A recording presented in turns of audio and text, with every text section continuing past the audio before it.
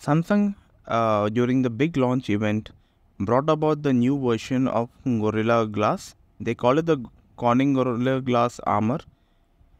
As you know, the S24 Ultra, the first phone to get this type of glass. Right after the launch, uh, launch Corning shared more details on the uh, Gorilla Armor.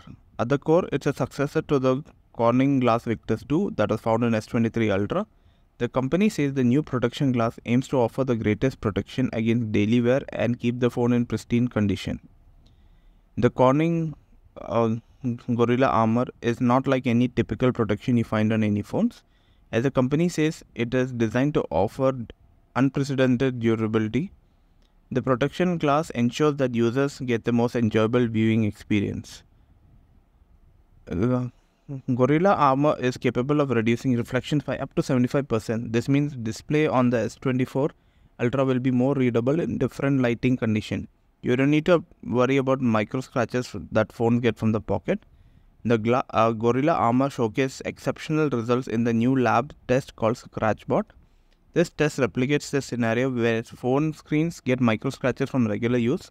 With this, the phone remains in top condition even after prolonged use.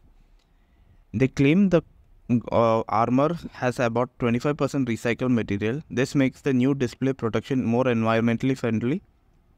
Corning has made a sub, uh, uh, substantial jump from the uh, Gorilla Glass Victus 2.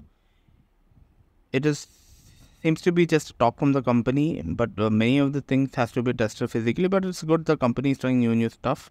But it is kind of weird that they only announce it after Samsung's Uh, show, they should have announced it before the Samsung show.